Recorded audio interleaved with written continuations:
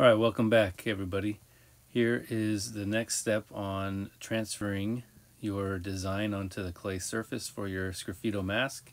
And now we're going to start talking about sculpting and attaching clay features onto the surface to create more of a three-dimensional form. Um, just going to be taking clay and modeling it basically in my hand to the size and shape that I'm looking for for certain features on the actual face. I'm going to start with basically um, just a coil shape that's kind of turned into more of a carrot kind of form and then I'm going to start building that on top of uh, the nose area for uh, the three-dimensional look that I'm looking for for my nose. Uh, it takes a little bit of time to kind of sculpt things so you want to make sure that you're you're working with some of the clay that might you know eventually maybe uh, shave off a little bit of it at the end of this whole result but you want to try to get something that's close and kind of the ballpark figure of what you're trying to look at for your actual mask. So I'm just taking the time and kind of modeling and kind of smoothing uh, this coil shape into more of a nose centerpiece for the actual nose of uh, my mask and my design here. So I'm just going to evaluate whether that's the right size or not. If I feel like it's pretty good, I'm going to go ahead and uh, start thinking about adding the nostrils on both sides. I'm just going to take a kind of an oval shape of clay and then I'm going to cut with the wire just in half so I have the exact same size on both sides so the nostrils are kind of close to the same size as well before I put them on. I'm just kind of I'm just kind of letting these kind of go um, as part of the design right now and I'm not going to be attaching anything quite yet. I want to make sure that their you know proportion is everything is what I'm looking for and then I'm going to change it up after that. So I'm just modeling it, kind of forming it designing kind of the little more of the details, kind of changing the curve and kind of the shape of each of the forms before I decide to continue working on uh, the nose. Uh, once I like it, then I'm going to probably leave it for a second and then continue to work on other features that are going to be kind of coming up off the surface to create that that depth that we're looking for for a three-dimensional shape.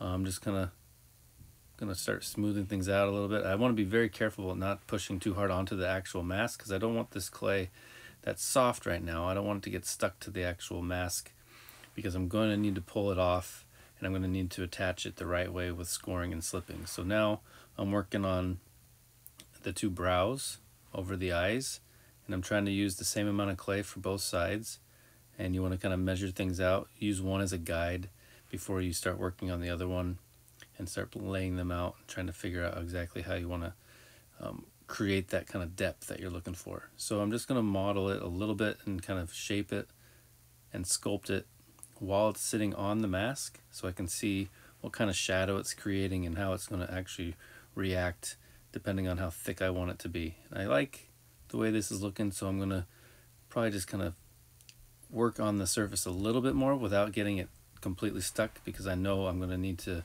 peel these back off in just a second and make sure that they sc are scored properly and they're going to be attached proper properly. So I'm going to peel them back in just a second and then I'm going to peel everything off just to make sure that I have uh, exactly what I want before I start to attach. And so you just want to take your time and really kind of form the clay while it's still soft, take advantage of it while it's soft and be able to kind of model it. And then I'm going to start creating some actual reverse kind of depth by pushing down into the eye area where the socket would be because the eye would definitely go down into the face a little bit more. So I want to kind of press the slab down in there and then start thinking about uh, how it's going to uh, interact with the actual brow above it. So it's going to cast even more of a shadow when I get when I get it close to where I want it.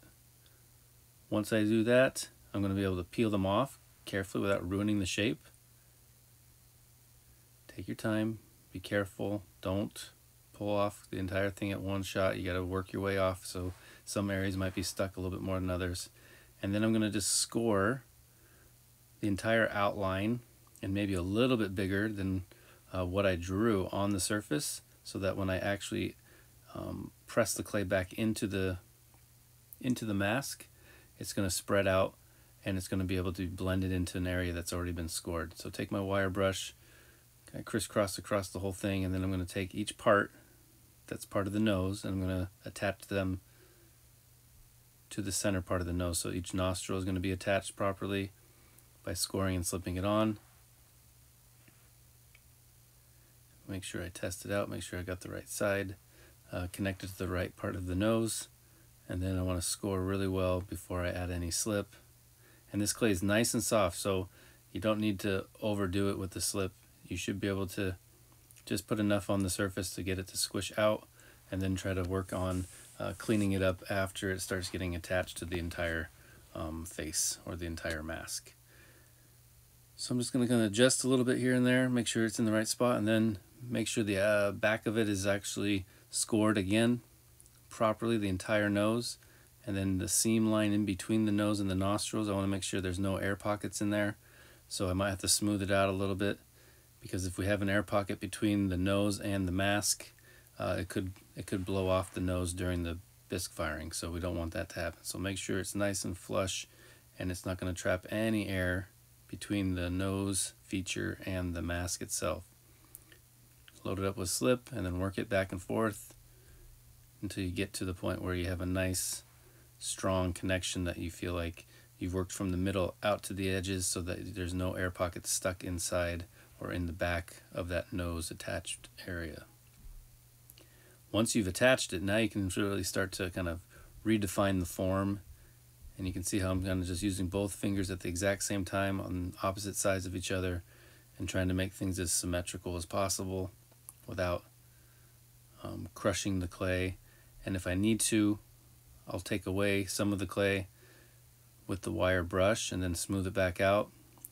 That allows me to know that I've actually scored the wet clay back into the mask without it gonna, it's not gonna peel away and fall off during the drying process. So now I'm just kind of sculpting those nostrils, kind of redefining the edges where I want it to start and stop. And then I'm just kind of working on all those little details that are still going to be, it's still going to be a little bit more of a roughed out form, but it's going to be a little bit more refined than it was before when I was just kind of modeling and trying to figure out exactly how big and how wide I wanted things to be. Now I'm testing these out one more time. I'm going to score right around, uh, right in between each of the brows as well before I put them on, but I'm scoring the back of each of those brow areas, making sure it's got a nice crisscross pattern over the whole surface.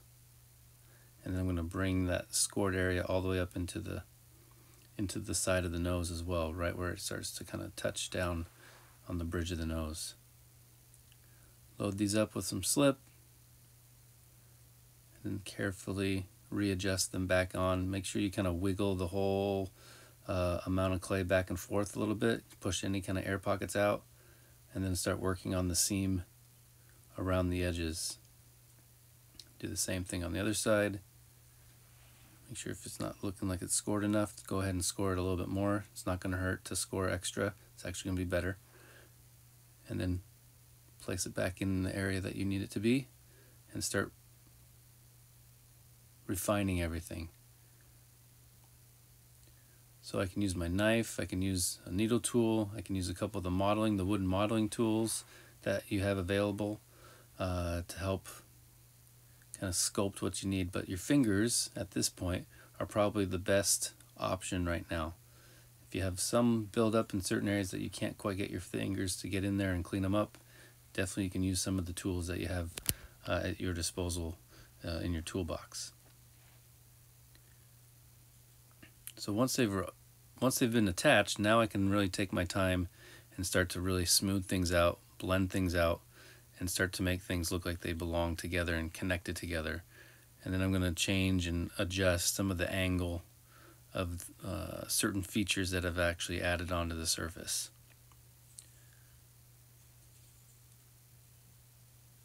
So notice I'm kind of working, uh, when I'm doing both sides, I'm kind of working at the same time trying to keep things kind of lined up. So I'm using my left and my right hand at the same time, opposite of each other, kind of working on keeping things a little bit more symmetrical. And you can see pushing down is going to make the make the slab kind of cave in a little bit. You can see how the pressure is pushing down and causing the eyebrow to kind of fold down too. And then you're just going to kind of work on some of those extra features and some of those refined parts. So I'm just taking the side of my knife and kind of cleaning up the edges a little bit around the slip area. And I'll do more of this later when the clay firms up a little bit more. I'm just trying to even things out as we go.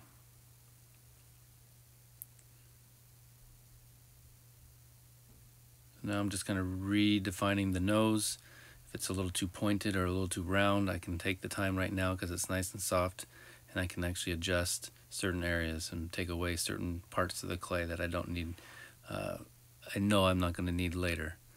Uh, I will eventually start carving a lot more of this out when it's more leather hard, not while it's super soft like this straight out of the bag. It's going to take a little bit of time for that to actually happen before the clay is actually um, leather hard. So now I'm just kind of softening the edge on the brow. And then I'm going to kind of work around the outside edges too. Clean up this side as well on the right side. Remove some of the buildup that I don't want. And then kind of almost kind of like cut it down and then kind of pull it off the surface with the with the right tool.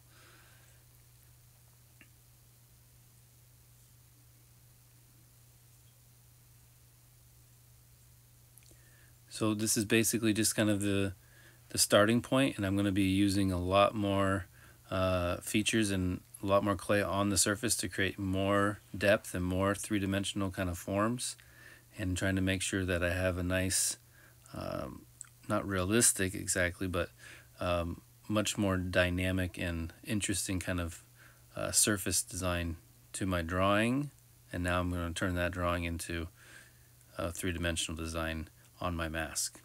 So it's always good to have your drawing near you. Sometimes I prop it right up and uh, right behind the mask so I have a reference as I'm working and then I can kind of go back and forth between the drawing and the mask to see how um, how close I am to what I first wanted to do with the actual design. And then when I'm done for the day, make sure you wrap it up carefully. Keep things folded over the top so it doesn't dry out. You want to keep that clay as soft as you can for quite a while now. And then uh, make sure you have another bag that you can put the entire mask inside of. And then make sure that bag doesn't open up while you have it wrapped up ready to go for the next day. And I think that's it. All right, good luck. Clean out your stuff and then be ready for the next day.